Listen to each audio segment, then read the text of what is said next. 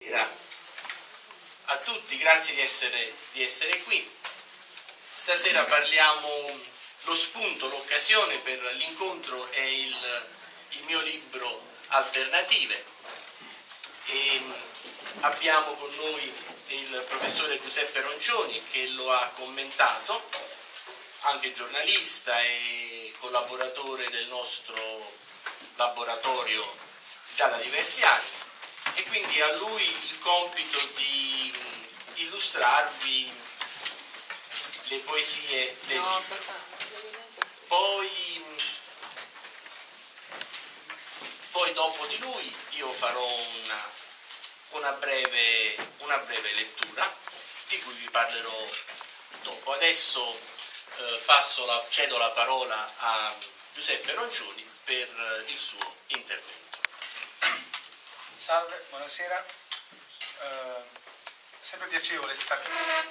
fare le cose con Enrico perché eh, lui veramente ci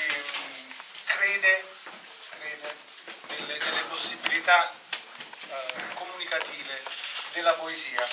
Lo dimostra anche questo libro, lo dimostra il fatto che lui eh, riesce, oltre al laboratorio che cura da qualche anno per la Società Dante Alighieri, proprio a livello di eh, progetto creativo che lui porta avanti e che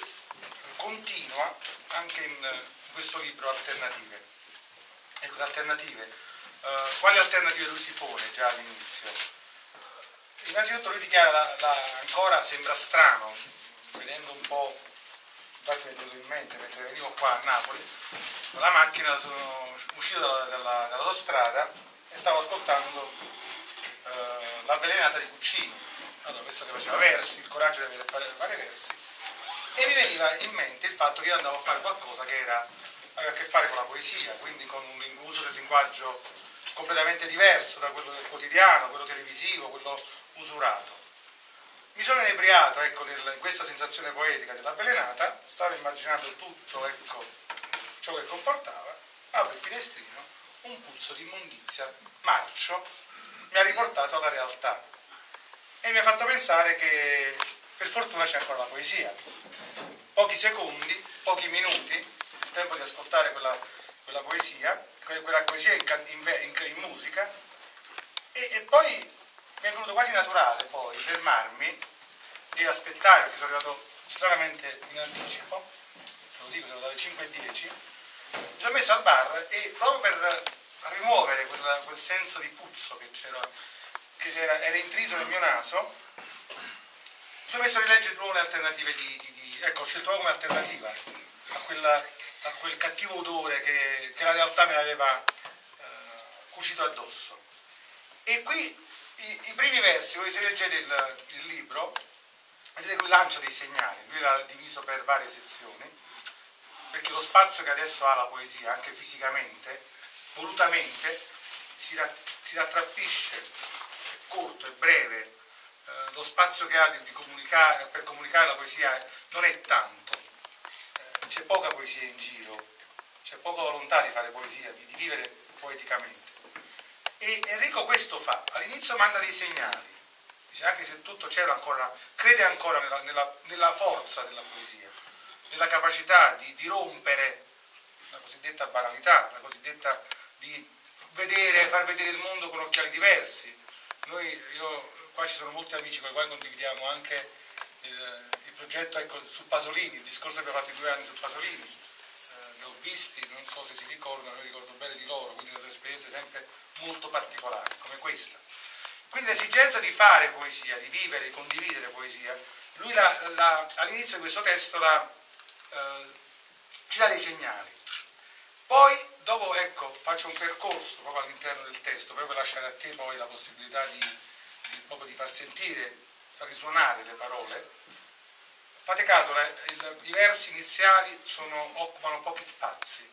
eh, perché i passaggi sono stretti, perché non c'è possibilità di trovare ecco, quasi fisicamente una possibilità di espressione in questo mondo. La pagina è occupata da versi minimi, però molto efficaci. Ecco, sembra quasi un, il gioco che fa, la sfida che accetta Enrico è quella di dire di rompere ogni, ogni possibilità, ogni legame, ogni vincolo espressivo per ridurre al minimo le parole e dargli la massima carica esplosiva di significato, di significazione di ogni singola parola. Poi lui pronuncia delle intenzioni, dopo i segnali lui ha un'intenzione, un'intenzione di andare oltre, è come fa una disagna, una disagna è una realtà che eh, non va, una, una realtà che gira quasi a vuoto su se stessa, però c'è questa parola che conduce, traccia dei passaggi, delle, delle piccole eh, vie dove eh, insinuarsi per cercare un qualcosa. Un qualcosa non è ben definito perché lui rifiuta ogni appiglio, ecco, non c'è un tu che consola, non c'è l'amore che consola, c'è un passato appunto che non consola. Il futuro, vedendo da questa prospettiva reale, non è che ci piace tanto. L'unica forma di realtà possibile, l'unica forma di, eh, ecco, l'eccezione, un'altra eh, parola chiave di questo libro, l'alternativa, l'eccezione, rispetto a questa regola che non ci piace, è quella ancora di vedere il mondo con altri occhi. Io questo vedevo eh, realizzato in questa sala qui qualche minuto fa, l'idea di come bisogna vivere eh, forse il mondo. È stata, è stata, lei, che a un certo punto, la piccolina, che ha, ha realizzato questa intenzione poetica. Lei che a un certo punto la sua preoccupazione ecco, è dare il nome ai due orsacchiotti che aveva in mano per vedere quel candore, è un insegnamento che ci dà e quindi i versi di Enrico ci indicano questa strada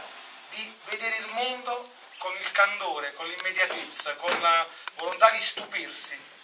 di, non solo della parola poetica, perché la parola poetica ehm, presume un impegno, un patto, una sorta di eh, volontà di impegnarsi a, a in una relazione fisica con le parole stesse, con i versi. E quindi lui ci eh, fa questo invito, cioè l'idea di stare nel presente, di non cercare rifugi, di stare nella realtà, di non cercare facili vie di scampo,